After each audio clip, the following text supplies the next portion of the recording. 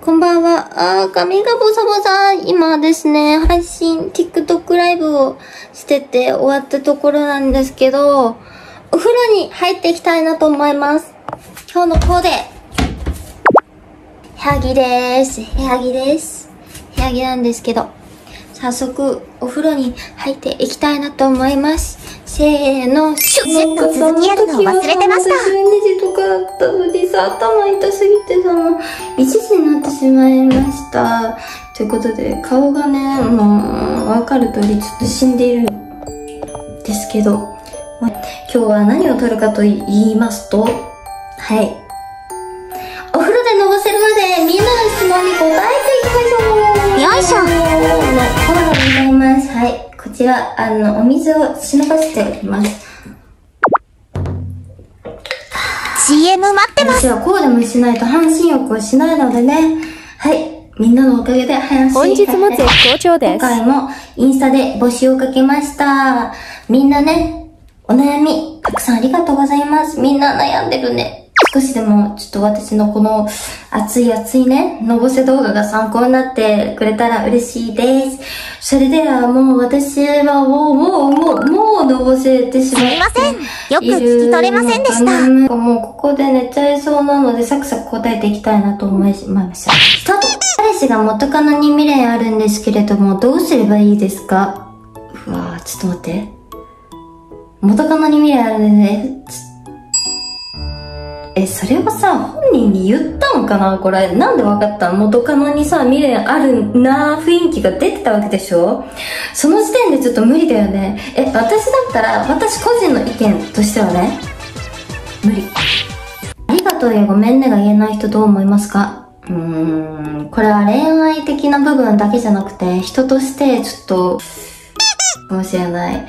なんか、ありがとうとかごめんねが言えない人って、社会的常識がないのかなって思っちゃうから、人間関係においてありがとうごめんねが言えることってすごい大切だと思うの。あの、恋愛的な部分だけじゃなくて。だからちょっと、人としての、ちょっと友達付き合いもちょっと、うわ、ちょっとあれかもしれない。私は逆に些細なことでありがとうとかごめんねとかを言える人が好きだからちょっとないですね。約束守らない彼氏どう思いますか？うーん、これちょっとした約束も守んないっていうことだよね。なんかさ、約束守らない人ってさ、結局浮気するんじゃないかなって私思っちゃうんだけど、なんか、小さなことで嘘をつく人とか、小さなことでも約束を守んない人ってさ、根本的な部分が結構だらしないじゃん。約束守る人は小さい約束も守ると思うし、だからなんか、彼女さんが不満出ないといいなっていう感じかな、付き合ってるうちに。それが教育するとかね、彼氏さんをちょっと約束を守れたらめっちゃ褒めて約束俺すごいんだわみたいな。思わせて約束を守らせていくみたいな手もあるかもしれないよね。別れてないのに SNS8 割ブロックされてどういうこと？別れてないの？にえこれ喧嘩したっていうことかな？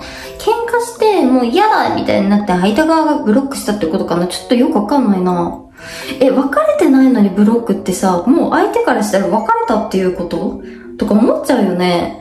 え、ちゃんと伝えてからね、別れましょう。この人のようにね、こんな風にずっと気になっちゃうので、なんで、あの、ブロックしたかを伝え、ブロックしたかは伝えるっていうか、何かしらちゃんと相手に伝えて、さよならを、さよならをした方がいいですよね。彼女とお泊まりデートしたいけど、言い出せない。えー、なんで？もしかしたらさ、彼女さんも待ってるかもしれないよ、これ。ナチュラルな誘い方だったら、なんか今度、旅行行こうとか、お出かけしようよとか、そういうどこどこ行こうみたいな流れでお泊まりデートに誘うとかはどうですか？なんか、やらしく、今度お泊まりしたいっていうのはちょっとハードルが高いかもしれないから、今度旅行行きたいとか。見て、私こうやってね、全部こうやって、あ、紙にこうやって書いて、袋にこうやって入れてるんですよ。なるほど。iPhone で撮ってるんで、見ながらができないのがちょっとな、難点のところなんですよね。ついさ、こういう小型のさ、全然見えない。なんか、旗から見たらカメラに見えないカメラ欲しいんだよね。元カノに浮気されてから恋愛するのが怖いです。どうすればいいですか？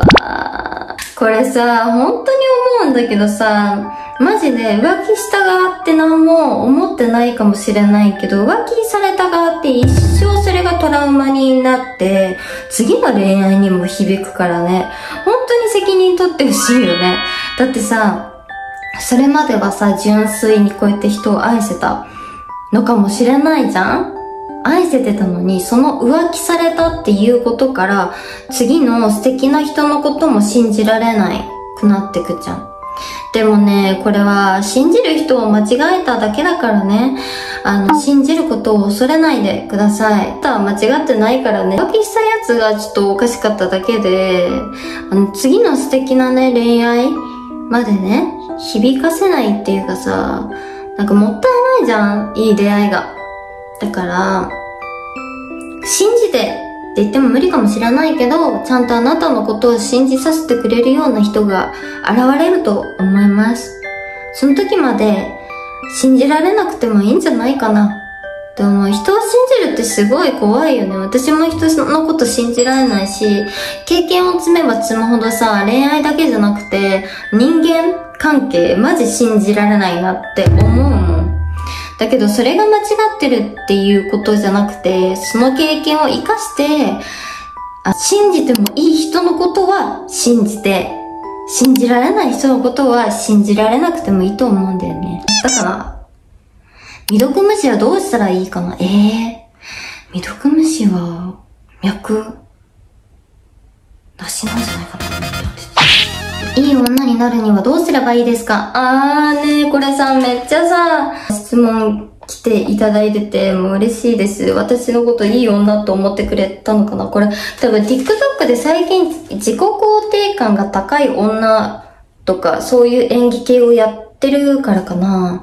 そういう人ほど自己肯定感は低いからね。私は昔、まあ今もだけどそんな自分のこと好きじゃなくて、でも昔の時の方が本当自分のこと好きじゃなかったの。あの、どんどん自分のことを嫌いになるのが嫌だったから、自分のことを好きになるような選択肢を選ぶようにしたの。例えば、今日お風呂入らないでそのまんまベッドにぐたーってしてメイク落とさず寝ます。